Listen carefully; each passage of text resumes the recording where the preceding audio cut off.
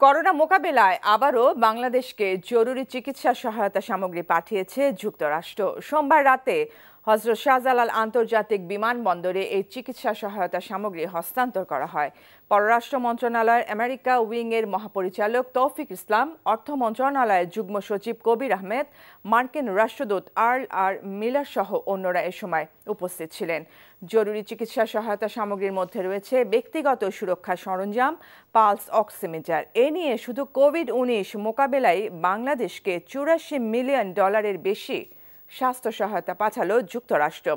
রাষ্ট্রদূত মিলার এ সময় জানান, হোয়াইট হাউস এ মাসের মধ্যে আশি মিলিয়ন ডোজ তাদের তৈরি টিকা বিশ্বব্যাপী দেয়ার যে পরিকল্পনা করেছে, তাতে বাংলাদেশেও সরাসরি টিকা সরবরাহ করা হবে।